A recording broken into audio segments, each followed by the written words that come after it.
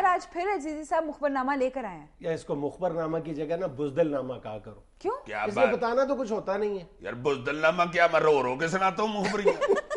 हिम्मत किया करो बताया ये करो। देखो तुम मेरा मुखबर किस कदर मेहनत कर रहा है कि हर दूसरे दिन तुम्हें मुखबरियाँ देता हूँ। हाँ ये तो है। आज बताओ ना क्या लेके आयो लो जी मुखबरी ये है कि एक दफ़ा एक आप दोइयों की खरीदो फरोख्त का स्कैंडल चला था। हाँ हाँ। फ्रांस और पाकिस्तान का। हाँ। उसमें दो बड़ी अहम शख्सियात मुलवस पाई गई थी। अच्छा। लो जी जब वो केस का रौला पड़ा था तो कंपनी एक सामने आई थी जिसने सौदा सूदा कराया था। ये जरदारी साहब का स्कैंडल था बकायदा केस चल रहा है। यार फिर तुम सुना लो मुखबरियाँ भी मैं नहीं सुनाता चलो ओहो दौड़ो अच्छा यार नाराज़ ना हुआ करो बताओ। तुम्हें मैंने कितनी दफ़ा कहा मेरे सौदे में ना हाथ मारा करो। अपनी रेडी परे ले जाया करो जब मैं अपना सौदा बेचना शुरू करता हूँ। अच्छा चलो बेचो यार। ये जो स्कैंडल चला था उसमें एक कंपनी सामने आई थी जिसने ये डील करवाई थी। मगर उस बंदे के नाम का नहीं पता चल रहा था कि बंदा कौन है जिसने बात करवाई है। हाँ अच्छा। ये तो नहीं पता चला। मुखबरी भी यही है कि उस बंदे का नाम सामने आ गया है। ओए। अच्छा जो फ्रांस में था बंदा। जी जनाब फ्रांस में था और वो इधर भी कब आया था और किस किस से मिला था ये सारा पता चल गया है। ओए। उधर उस वक्त जो वज़ीर बजट थे सरकोजी साहब। हाँ, जो आज सदर है। आज जो उधर सदर हैं अब उनको भी वक्त पड़ा हुआ और हमारे यहाँ भी वक्त पड़ा हुआ है। सदर को कहो ना। यार ये ये, ये इस बंदे को यार समझाया करो। आगे से हंसना शुरू कर देती है। यार इसमें छुपाने वाली क्या बात है? वाकई। जब पांजा पड़ता है ना तो वो भी नहीं फिर छुपाया जाता। वो छुपाया भी हो ना तो हाय हाय ऐसी निकलती है कि पता चल जाता है कि छुपा हुआ है पांजा। अच्छा चलो अगली मुखबरी सुना दो। लो जी अगली मुखबरी ये है कि पंजाब की पीपल्स पार्टी और नून लीग की क्यादत में आपस में बहुत गर्मा गर्मी हुई है एक इजलास में। पीपल्स पार्टी की एक आला शख्सियत ने कहा कि भाई जी ये जो फलाना ब्यूरोक्रेट है ना ये बताएँ जरा कि ये गवर्नमेंट का मुलाजिम है या नून लीग का मुलाजिम है? एक फिक्रा उन्होंने उस ब्यूरोक्रेट के मतलब कहा मैं सुन के ही हैरान हो गया हूँ। ओके उन्होंने कहा ये पीपल्स पार्टी को मुँह ही नहीं लगाता ना इनको काम करता है ना को हमसे सीधे मुँह बात करता है। ये तो मुझे लगता है ये पीपल्स पार्टी के लिए परवेज मुशरफ नहीं बल्कि जियाउल हक बन गया हुआ है। अच्छा। जी जनाब। हाँ या ना वाली एक सवाल। अच्छा जी करे जी। वो ये कि ये जो ओहदा है इस ब्यूरोक्रेट का उसमें चीफ का लफ्ज आता है? नहीं चलो ये भी टेंशन खत्म लो जी अगली मुखबरी ये है जनाब के परवेज मुशर्रफ साहब जो अमेरिका में लेक्चर देने के लिए ये पिछले दिनों गए हुए थे। जिस कंपनी के साथ मुशर्रफ साहब का एग्रीमेंट है उसमें शर्त ये है कि किसी को इंटरव्यू नहीं देना। सही। जब भी यहाँ लेक्चर देने आना है लेक्चर दें और बह जाएँ। किसी कंपनी को किसी अदारे को किसी सहाफी को इंटरव्यू नहीं देना। लो जी जो उधर मेजबान थे ना मुशर्रफ साहब के हैं तो पाकिस्तानी नियाद बंदे मगर उधर ही फिट हैं और बहुत अमीर आदमी। अच्छा। उन्होंने वैसे ही ईरान हिंदुस्तान में ना अपने मोबाइल पे उनका इंटरव्यू लेना शुरू कर दिया मुशर्रफ साहब का। मुशर्रफ साहब ने भी समझा यार दोस्त है चलो कोई बात नहीं।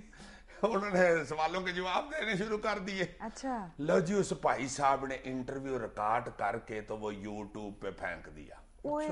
इंटरनेट पे। यूट्यूब इंटरनेट पे ही है। ये तो सियाना आदमी है। लो जनाब वो इंटरव्यू जब इंटरनेट पे देखा उस कंपनी ने जिसके साथ मुशर्रफ साहब का एग्रीमेंट है। उन्होंने मुशर्रफ साहब की जो फ़ीस थी ना लेक्चर वाली वो सारी हयम कर दी। उन्होंने कहा कोई फ़ीस नहीं चलो जाओ। मुशर्रफ साहब ने बथेरा कहा कि भाई ये राने दस्ताने में यार कंपनी ने कहा नहीं नहीं ये इंटरव्यू है ये आपके मंजी ठोक रहे हैं। सवालों का जवाब दे रहे हैं। सही। अखीर मुशर्रफ साहब ने ज़ाहिर बंदे तो बहुत तेज है। हम्म। बंदा नौ साल निकालता कहीं। मना उन्होंने लिया और फ़ीस भी अपनी ले ली मगर रट्टा उधर बहुत पड़ा। कैसी मुखबरिया आ, यार चलो अगली सुनाओ मुखबरी। यार हाथ फेंक दिया करो को तली पे आंडा पड़ा हुआ है जो टूट जाना है। लो जी अगली मुखबरी ये है जनाब कि ये जो पिछले दिनों तारीख पे पहुँचे थे बाबर रवान साहब पूरी कबीना को साथ लेके। बिल्कुल। और अपनी तरफ़ से तो उन्होंने वो तारीख फतह की थी ना। बड़ी खुशी थी उनको। एक इंतहाई अहम शख्सियत जो थी वो आई उधर वजारत कानून में खुद। अच्छा। आके उन्होंने बाबरवान को थपकी दी और जिया हुआ बाबरवान सदके जाऊँ तेरे। वेरी गुड वेल डन फिर बाकी लोगों को भी शाबाश दी। बहुत अच्छे भैया आपने कमाल काम आज दिखाया। को थोड़े थोड़े पैसे भी दिए होंगे को फ्रूट चाट खा लेना। होता है ना खुशी में। हाथ धो गई है तुम्हारे वाली। बच्चे पास होते हैं तो उनका नाम नहीं देते। वैसे मुझे को पक्का पता नहीं है नाम मिला कर नहीं। वैसे शाबाश बहुत दी उन्होंने कहा बहुत अच्छे वेल डन डटे रहो मैं तुम्हारे साथ हूँ। गुड तो वो शख्सियत बगैर किसी प्रोटोकॉल के वहाँ इतने खुफिया अंदाज में वहाँ पहुँच गई। किसी को पता ही नहीं चला। यही मुखबरी होती है और मुखबरी में को बंडी के पहाड़ नहीं सुनाते। अच्छा यार चलो अगली सुनाओ मुखबरी। लो जनाब अगली मुखबरी ये है कि पंजाब पीपल्स पार्टी की सदारत जो है आपको पता है आजकल खाली पड़ी हुई है हाँ हाँ राणा आफ्ताब साहब इलेक्शन हार गए थे फैसलाबाद और उन्होंने इस्तीफा दे दिया था अच्छा आजकल वो किशोर के गमगीन गमगीन गाने सुनते हैं बैठ के तावला ईसा खेल भी, भी ऊंचा करके लगा देते ਇਹ ਥੇਵਾ ਮੁੰਦਰੀ ਦਾ ਥੇਵਾ ਸਾਰੀ ਉਮਰ ਕੀਤੀ ਇਹਨਾਂ ਦੀ ਸੇਵਾ ਤੇ ਵੋਟ ਮੈਨੂੰ ਇੱਕ ਵੀ ਨਹੀਂ ਪਾਇਆ लो जनाब सदारत की कुर्सी खाली है पीपल्स पार्टी की। एक ऐसी शख्सियत जो पहले भी पंजाब की सदर रह चुकी हैं पीपल पार्टी की। उनको जनाब सदर मोहतरम पीपल पार्टी के चेयरमैन आसफ अली जरदारी साहब ने कहा कि भाई जी आपको ना सदर बना दे? उन्होंने आगे से कहा मैं नहीं बनना मैं तो नाअहल हूँ। है? हैं? क्यों? रुस के कहा उन्होंने अच्छा। अच्छा। इसलिए कि जरदारी साहब ने उनको पहले एक दफ़ा कहा था कि तुम तो बंदे ही नाअहल हो। ओ।